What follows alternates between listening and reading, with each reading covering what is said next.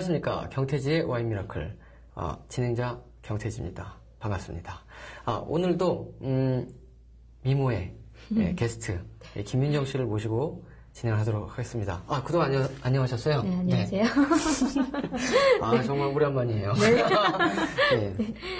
어, 오늘- 지난번에, 네. 예, 말씀하시죠. 저번에 아주 시원한 상큼한 네. 화이트 와인을 마셨는데 네. 이번엔 레드 와인이네요. 네, 이번에는 어, M 샤프티에라는 프랑스 와인이고요. 레- La Ciboise라는 이름의 레드 와인이 되겠습니다. 이- 일단 근데 예. 이것도 좀 시원하게 해놓으셨어요. 원래 레드 와인은 네. 시원하게 안, 안 마신다 이런 그런 그렇죠. 네. 선입견인가요? 아, 그건 아니고 지금 네. 날씨가 더우니까 아, 예, 이렇게 보통 레- 레드 와인은 한 15도에서 한 20도 사이로 마시는 게 좋거든요. 음, 그거보다 떨어지면 와인의 쓴맛이 좀 많이 나고요. 그거보다 높으면 좀 많이 더워져요. 따뜻해지기 때문에 맛이 좀더 없어지거든요. 섬세함이 좀 안 느껴진다 그래야 되나? 그래서 일부러 좀 지금 날씨가 더우니까 네. 약간 차가운데 넣어놨다가 이렇게 꺼내놨고요. 보통 시- 와인, 레드 와인을 15도에서 한 18도 정도에 마시면 좋다라고들 많이 하는데 그 15도가 어느 정도 되는 온도, 온도인지 그 좀- 15도는 약간 미지근? 그렇죠. 네. 그럼 보통 이제 우리가 이제 세수를 하려고 이렇게 찬물을 이렇게 틀었어요. 뜨거운 물 안 틀고 네. 완전 히 찬물로만 틀었어요. 이제 더운 여름이니까 이제 아 집, 집에 들어가자마자 세수하고 막 그러잖아요. 네. 근데 그때 찬물을 쫙 들어갔을 때 아 되게 차갑다라고 느끼는 그 물의 온도가 몇 도쯤 될 것 같으세요? 차갑다. 음, 아우 차가워 하는 그 정도의 물. 음, 차가워? 네. 글쎄요, 한 2, 3도? 2도에서 3도. 네. 보통 다 이렇게들 말씀하시는데요. 네. 실제로 보통 찬물을 딱 틀어놓고 그 온도를 재보면 네. 그게 한 15도 정도 돼요. 아, 그래요? 생각보다 온도가 높, 이게 15도가 차요, 되게. 아, 그러면 이제 만약 2도나 3도쯤 되는 물에 손을 담그잖아요. 네. 그러면 어떤 느낌이 드냐면 손이 떨어져 나갈 정도로 차가워요. 음, 그러니까 2도에서 3도면 진짜 얼기 직전의 온도, 거의 온도기 때문에 정말 차가워요. 음. 뭐 그렇습니다. 그래서 보통 이제 그 15도가 굉장히 그러면 시원한, 생각보다 네. 시원하고 차가운 온도가 네. 15도입니다. 음,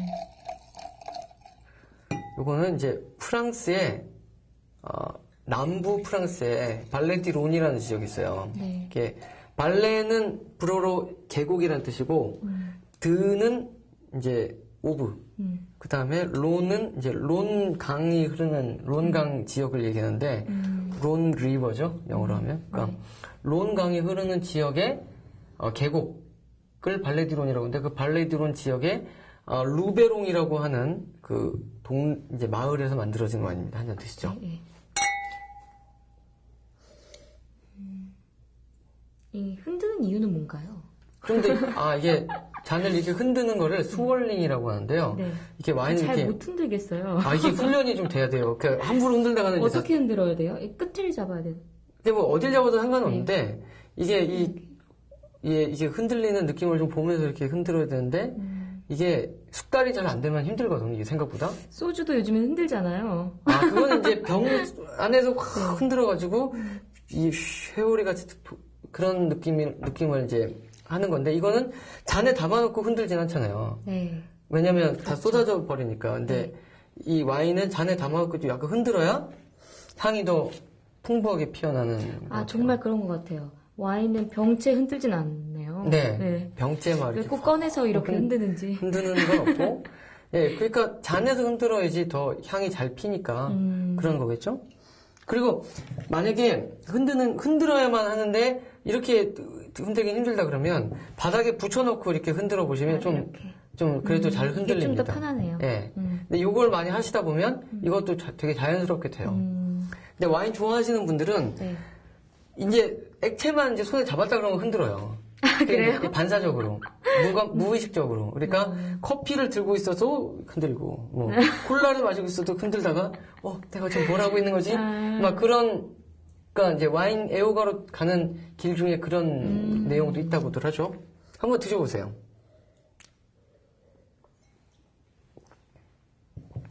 음. 어떠세요? 약간 시큼한 맛이 강한데요. 시큼한 맛이 강하고, 음, 네. 좀 끝맛은 약간 쌉싸름하고. 텁텁하고 네, 그렇죠. 네. 음. 약간 새콤한 느낌도 좀 있으면서 네. 약간 이- 이렇게 좀 꽃향기 같은 게 좀 많이 나지 않나요? 음, 끝맛이 그런 것 같아요. 네, 그렇죠. 근데 이거는 이렇게 아 맛이 정말 좋아요라는 느낌은 네, 조금 약간 단맛은 거의 없어요. 그렇죠. 드라이한 와인이죠. 네. 쓴맛이 씁쓸한 맛과 신맛과 그다음에 이제 어 단맛이 좀 있긴 있는데 그게 너무 약하죠. 네. 알코올 도수가 어느 정도 돼요? 이거요. 이게 도수가 좀 강한. 14.5도네요. 아, 굉장히, 예, 강하네요. 어. 14.5도면 아주 센 겁니다. 네. 레드 와인 중에서는. 음, 보통 레드 와인은 정말 많이 높은 경우가 한 15.5도고요. 음, 그러니까 정말 14.5도라고 하면 알코올 도수가 이 정도면 아주 높은 알코올 도수의 음. 알코올 도수 함량이 굉장히 높은 거죠.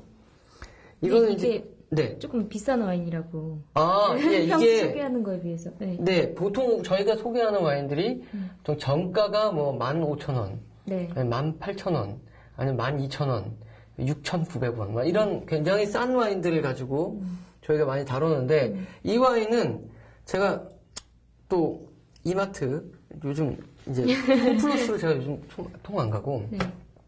이마트를 자주 가는데 이제 이마트에서 계속 세일을 하고 있더라고요. 음. 근데 제가 이 와인을 사실 개인적으로 되게 좋아하는 와인인데 음. 계속 세일을 계속 하고 있길래 어? 왜 이렇게 왜 맨날 세일을 하지? 그래서 한번 사가지고 와봤어요. 그래서 네. 어떤 느낌 이제 게스트들하고 이제 마시면 어떤 느낌으로 드시는지 또 이게 어, 이 정도 가격이면 구매를 하실지 뭐 그런 것들이 궁금하더라고요. 네. 네, 그래서 드셔보시기에는 정가는 3만 원인데 음. 네. 저는 와인을 네. 와인에 대해 잘 모른다고 말씀드렸는데 네네네. 편하게 그래서 말씀하세요. 괜찮습니다. 제가 맛도 약간 네. 싼, 싼 맛에 길들여져 있나. 아, 아니요, 그렇지 않습니다. 네. 그거하고 상관없어요. 음, 제가 왜 이게 좋은 와인인가. 음. 아, 왜 좋아하세요, 이거? 좋아하는 이거요? 거 하셨잖아요. 음, 이 와인을 제가 지금 맛을 대충 표현을 해보자면 좀 텁텁하고 씁쓸한 맛이 있지만 그게 이 와인의 매력인 것 같아요. 음, 와인의 세계에 입문을 했을 때, 하기, 할 때는 일단은 굉장히 과일향이 강하고 이렇게 신선하면서 이렇게 깔끔한 와인들을 좋아하게 되는데 네. 그러다가 좀 더 계속 가면 되게 터프하고 강렬하고 이렇게 되- 굉장히 입안에서 꽉 차오르는 그런 풀바디한 와인을 선호하게 되다가 그러다가 이제 점점 또 섬세한 어떤 꽃향기나 아니면 그런 걸 추구하는 그런 이게 계속 바, 바뀌거든요. 이 와인은 어, 첫 번째로 말씀드리면 유기농 와인이고요.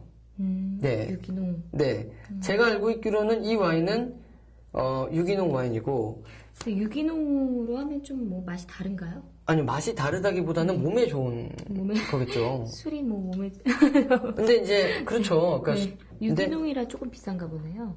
약간 그런 부분 이 있겠죠. 왜냐하면 이렇게 벌레 먹거나 그런 것들을 이제 관리를 해, 해줘야 되니까 농약 한 번 확 뿌리, 뿌려 서 해결하는 게 아니고 음. 되게 이제 퇴비를 쓴다거나 아니면 뭐 화학 비- 비료를 쓰지 않는다거나 굉장히 다양한 방법들을 동원해서 유기농 와인을 만들었을 테고 네. 그다음에 이 다른 와인에 비해서 프랑스 와인이 조금 어렵게 느껴지는 부분인 게 그게 이름부터 어려워요.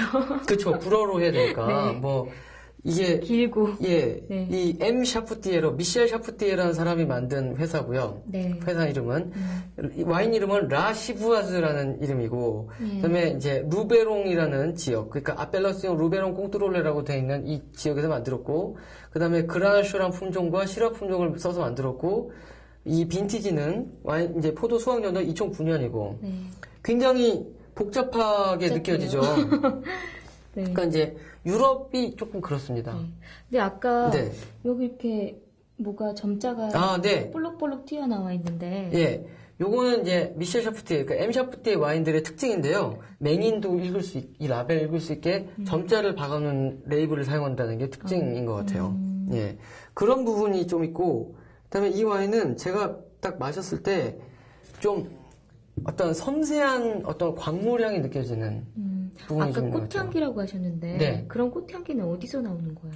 어, 그러니까 이제 보통 그 꽃의 방향성 있는 꽃이 아니고서는 꽃의 향기가 이렇게 강하진 않잖아요. 그리고 꽃을 꽃을 이제 신선한 꽃을 이렇게 꽃다발 같은 거에 꽃 향을 맡아보면 이렇게 꽃 향기도 있지만 풀 향기도 굉장히 많이 나거든요. 네. 그 다음에 이제 물에서 나는 향기 있죠. 그러니까 식물은 계속 기본적으로 물을 계속 이렇게 계속 뿜고 있기 때문에 네. 이렇게 남 잎사귀나 아니면은 꽃잎 같은 데 계속 촉촉하게 돼 있기 때문에 이 물에서 나는 그런 향과 그다음에 식물의 이제 그 풀 같은 향과 그다음에 그 고운 꽃향기가 한꺼번에 같이 나거든요.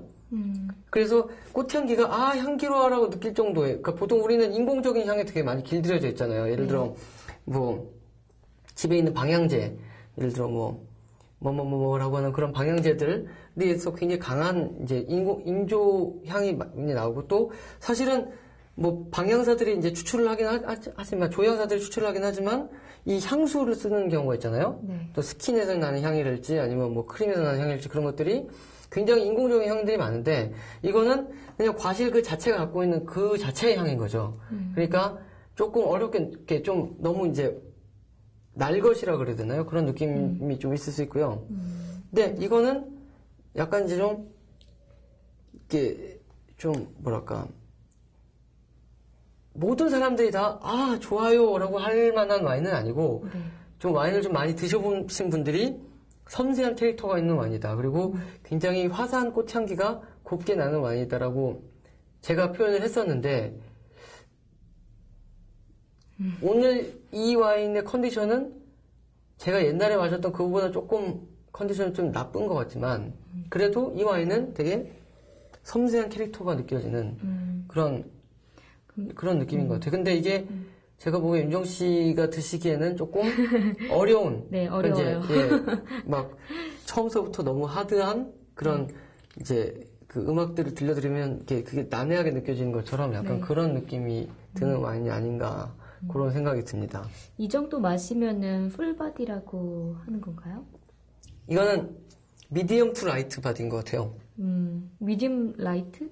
미- medium to light라고 medium to light. 예 완전 light는 아니고 음. medium이라고 보기에는 조금 이렇게 살집이 좀 없는 와인이고 음, 그- 하지만 저는 이런 스타일이 좋더라고요. 되게 부담스럽지 않고 그 다음에 이제 은은하고 잔잔하게 느껴지는 오크 향이랄지 근데 이- 확실히 이 와인을 왜 또 선정을 했냐면 네. 그 이 와인을 판매하시는 분이 굉장히 강력하게 권유를 하시더라고요. 어, 이거 한번 사, 서 와인 미라클 한번 해보세요. 막 그러시는 거예요. 그래요? 그분이 제일 좋아하신대요. 음, 그래가지고 아 이거 내가 보기에 이거는 마신 지가 좀 됐지만 이 와인은 조금 와인 미라클로 다루기엔 너무 좀 클래식한 와인인 것 같은데 음. 그러니까 접 이렇게 보통 사람들이 이렇게 와인을 잘 모르시는 분들이 딱 접했을 때 바로 아 좋아라는 느낌이 나지 않는 약간 좀 네. 난이도가 있는 와인인 것 같은데 아 우리 이런 와인 이런 저희 너무 좋아해서 이런 것도 한번 소개를 좀, 좀 해봤으면 좋겠다 그래서 그럴까요? 그래서 이제 권유해 근데 이거는 그냥 와인을 잘 모르시는 분들이 드시기에는 조금 난이도가 있는 좀 네. 약간 좀 어려운 느낌이 있는 와인인 것 같아요. 알코올 도수도 높고, 네. 네. 특히 뭔가 여- 좀센 느낌이 나요. 네. 때. 근데 세면서 이게 당도가 좀 있으면서 음. 이게 바디감이 좀 있으면 그게 세다는 느낌이 전혀 안 들거든요. 굉장히 부드럽게 느껴질 수도 있어요. 네. 근데 이거는 body가 약한데 네. 거기다가 쓴맛이 강하고 신맛이 강한데 네. 그리고 단맛도 단맛이 좀 떨어지는데 그러니까 밸런스가 좀 깨져 있는 거죠. 음, 깨, 깨졌다기보담도 좀 말, 말하자면 현악 사중주도 아니고 이거는 바이올린 독주나 아니면 첼로 독주 같은 그런 느낌이 드는데 그것도 이제 뭐 되게 대중적인 연주자가 아니고 좀 안 대중적인 연, 연주자 그러니까 뭐 요요마 같은 사람이 켜는 게 아니고 네. 막 안너 빌스마 같은 사람이 켜는 그런 첼로 독주 같은데 그것도 이제 바하의 평균율 같은 거 하고 있으면 진짜 지루하고 재미없거든요. 그렇잖아요. 예. 지선상의 아래도 아니고. 네. 그러니까 그러니까 이런 거는 좀 그런 느낌이 좀 음. 드는 드는 느낌이 드는 것 같고요. 만약에 아 내가 이제 요즘 이렇게 우리 집 앞에 있는 마트에 웬만한 와인을 다 마셔본 것 같아. 음. 이제 좀 새로운 와인을 마셔보고 싶어. 그러면 이 와인을 이 라시부아즈 레드를 한번 드시는 것도 음. 한번 이, 런 와인을 도전을 해보는 것도 제가 권해드리는데 나는 와인을 잘 아는 사람은 아니야. 라고 한다면 이 와인은 조금 좀 권하기 조금 어려운 와인이 아닌가. 제가 궁금한 게요. 네. 이게 2009년에 만들어졌어요. 네. 2009년에 수확된 포도로 만든 거죠. 음, 네. 그럼 오래될수록 좋은 건가요? 와인이? 예, 이건 좀 오래 좀 더 있어야 좋지 않을까 하는 생각이 좀 드는데요. 음, 지금 2012년이잖아요. 네. 그러면 횟수로만 따져도 10, 11, 12, 3년 정도 된 건데 네. 3년이 조금 안 됐겠네요. 근데 3년 정도 됐다 치고 음. 예. 횟수는 한 3년 정도 된 와인인데 제가 보기에는 이거는 한 2년 정도 후에 마시면 더 좋- 훨씬 더 좋은 느낌의 음, 그때는 진짜 숙성향이라는 게 되게 많이 나겠죠. 음, 보통 포도를 담아 와인을 담아놓고 신선한 포도 처음에 이제 어렸을 때 마시면 굉장히 신선한 과일 향이 막 이렇게 퐁퐁퐁퐁 솟아나는데 이게 시간이 가면 갈수록 이렇게 가죽에서 나는 향이랄지 아니면 동물에서 나는 향이랄지 약간 좀 구수한 향도 나고요. 좀 퀴퀴한 향도 나고요. 근데 그리고 또 이제 마치 홍어가 숙성된 것 같은 그런 암모니아에서 느껴지는 약간 좀 약간 좀 꼬리한 향도 나고 그러는데 그런 것들을 진짜 좋은 와인으로 치는 분들이 많거든요. 예, 쿰쿰하다 또는 구리구리하다. 예를 들어 치즈도 이렇게 신선한 치즈가 아니고 담은 지 얼마 안 된 치즈가 아니고 오래되면 오래될수록 되게 고약한 향이 나잖아요. 네. 근데 그런 것들을 좋아하는 분들이 계신데 발효 음식이라는 건 다 그런 것 같아요. 된장도 그렇고 간장도 그렇고 김치도 그렇고 오래되면 되게 복합적인 그런 향이 나, 나듯이 네. 이런 게 좀 그런 느낌이 아닌가. 음, 조금 더 오래되면 더 마시기 좋아지지 않을까. 근데 음. 지금 마시기에는 조금 어린 느낌도 없지 않아 있는 것 같다. 음. 아, 좀 약간 애매한 것 같아요. 지금 이 2009년 그 라시부아지를 작년 용어 때 마셨을 때는 굉장히 신선하고 좋았거든요. 음, 근데 지금 이거는 약간 좀 애매한 시기에 접어들은 와인이 아닌가. 그 와인의 적정 시음 시기는 조금 아니지 않나. 뭐 그런 생각도 왠지 드네요. 네. 네. 하여튼 뭐 이 와인은 좀 윤정 씨한테는 좀 별로였던 것 같은 느낌이 좀 드네요. 네, 좀 네. 저한테 좀 어려운 와인이었습니다. 음, 네. 아, 그, 그, 여기까지 나와줘서 좀 정말 감사하고요. 네. 나중에 또 기회가 되면. 아, 저는 뭐 새로운 와인도 한번 마셔보고 전 와인을 접할 기회가 별로 없어서 네, 네. 더 많이 불러주세요. 네. 감사합니다. 네. 와주셔서 고맙고요. 네. 네. 여기서 이번 편 마치도록 하겠습니다. 감사합니다. 감사합니다.